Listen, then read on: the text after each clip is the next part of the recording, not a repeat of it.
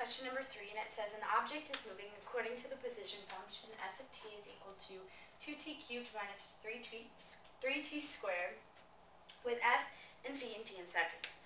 Find the average velocity of the object on the time interval from 1 to 3 and the instantaneous velocity at the, um, of the object is t equals 2. So first we're going to find the average velocity. And the average velocity is the same thing as slope. And for that, remember that formula is y2 minus y1 over uh, x2 minus x1 or f of b minus f of a all over b minus a. So that's all we're doing here. So s of 3 minus s of 1 all over 3 minus 1.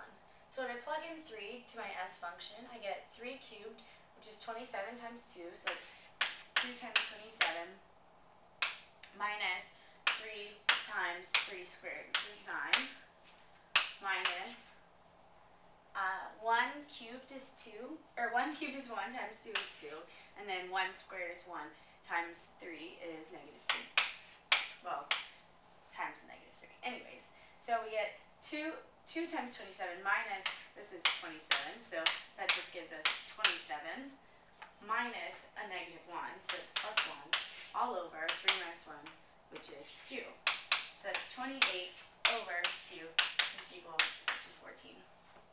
So we've got our first part is 14 feet per second. And so the second part asks us to find the instantaneous velocity. And now, knowing all the knowledge that you know, we know that instantaneous velocity is just going to be where we take the derivative and plug in the value. So we're going to take the derivative of this, and that's going to give us 6t squared minus 6t. And then we're wanting to know at t equals 2. So we've got 6 times 2 squared minus 6 times 2. 2 squared is 4. 6 times 4 is 24 minus 12, which is equal to 12.